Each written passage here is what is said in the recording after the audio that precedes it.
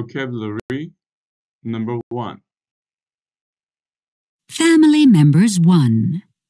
Listen and practice the words. husband, wife, parents, father, mother, children, daughter, son, baby, siblings, sister. Brother, grandparents, grandmother, grandfather, grandchildren, granddaughter, grandson, It's a picture of a husband and wife. So he is a husband, H U S B A N D, husband, and she is wife. Husband and wife. Husband and wife. In this picture, you see a family, and these two are parents. P A R E N T S. And he is father, and she is mother. Father and mother, they are parents. And there are three children. C H I L D R E N. Children. And she is a daughter. D A U G H T E R. Daughter. And he is a son. And the baby looks like a boy. Baby. Or you can say baby boy. Or baby girl. Baby boy or baby girl.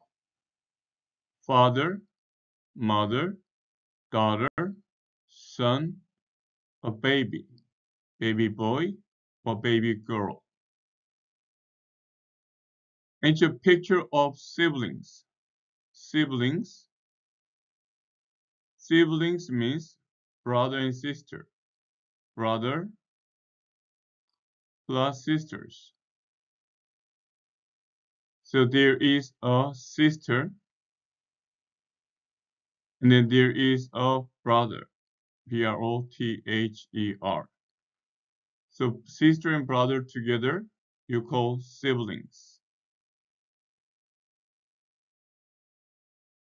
Now another picture of family, and these two are grandparents, E-N-T-S, grandparents, and she is a grandmother, grandmother, and then he is grandfather, grandfather, and then he's going to be father and she's going to be mother.